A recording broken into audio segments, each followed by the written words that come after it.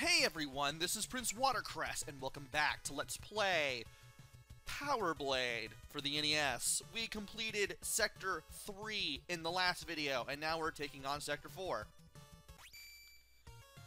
4 doesn't seem any bigger or smaller, you just have to know where to go. And we have to start by going up at the beginning, and I don't know why I jumped right into that firepower there by that enemy, but nevertheless, we will be able to get another...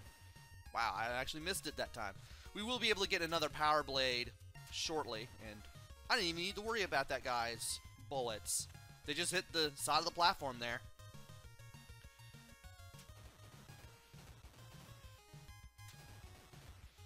Now that we're down here, we're on the other side of where we started.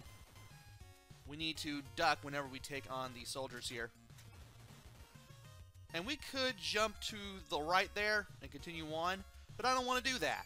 Because if you don't go down here, we're not going to find the agent. So I need to be careful. We want to get over here, and thankfully this one's a little easier to avoid.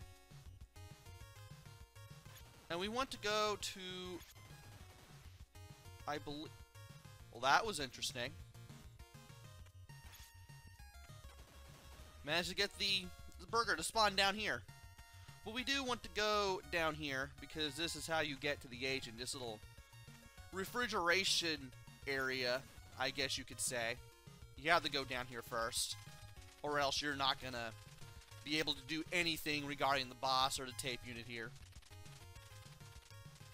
So now we have Sector 4's ID card. And as much as I would like Actually, I do want to go in this direction.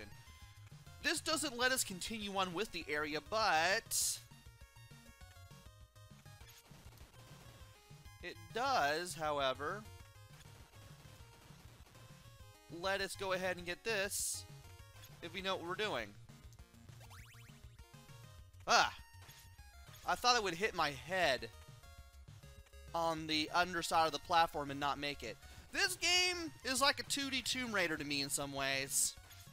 Kind of a weird analogy, but kind of like the PS1 Tomb Raider games. Oh. Roy. You're not supposed to go this go back this way. Well, at least I got that out of the way, though.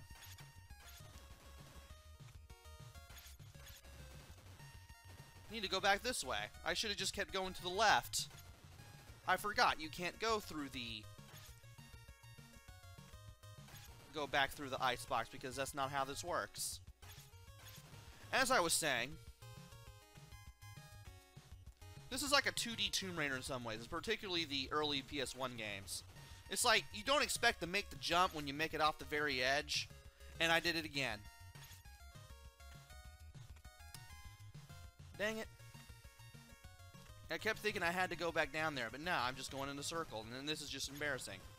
As I was saying, this is like a 2D Tomb Raider, particularly like the early PS1 game in some ways. Because you don't expect to make the jumps, but somehow you do. And it's actually pretty interesting when that occurs because you actually feel some sense of satisfaction. Now we go up here, not down. Otherwise we go in a circle again. Yes, we have to avoid all these things, but you know what? If we can take care of all these enemies, we should be good to go. Ow.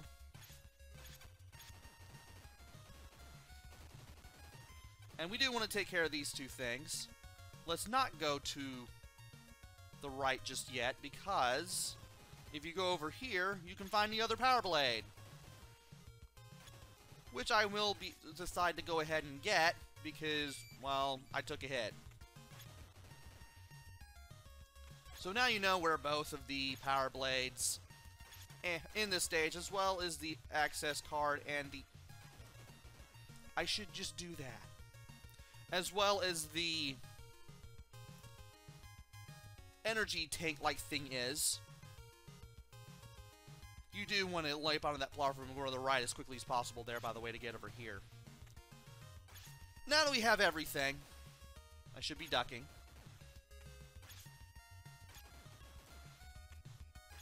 it's time to make our way over to the boss. And this can be a pain in the butt if you're not careful. First of all, we go to the right, otherwise we're going to be redoing parts of the level that we don't need to redo again. Take care of the pink gorilla droid, go up here. We may have to deal with respawning enemies, that's alright. Knew you'd come back, but that's a moot point. Come on. There we go. And now I just need to wait for you to open up and I can take care of you. And that guy is not even as much of a threat because all of his attacks are going to hit that platform. Now, for the hardest part of getting around these platforms. Wait for these platforms, every single one of them, to make their way down. And try to jump to the next platform from as high as possible before you make your jump. So, make sure the platform you're on is high. Make sure the platform you're jumping to is low. That way, there is absolutely no way you can mess these up. Unless your button pressing skills are just off, I guess. You will have to deal with enemies, but they shouldn't be too much of a problem. And just like that, just with a little bit of patience, we're pretty much where we need to be. Also helps to have the power blade too, but you don't necessarily need it for this area. It is a great thing to have though, it makes an easy area even easier. No. You, you stay away from me. Let's take care of these two things. And let's get in the door here. Sector 4 ID confirmed, lock released, and now it's boss time. Stay in the center. Be ready to duck. Avoid the lightning bolt. Hit the enemy with a diagonal attack. You may have the jump if you're not using the power blade. Make sure you attack only once. Stay in the center. When the lightning in the background fades away, you know that the attack has been launched. Just step away a bit to avoid the lightning bolt that the bolt throw that the bolt that the boss throws.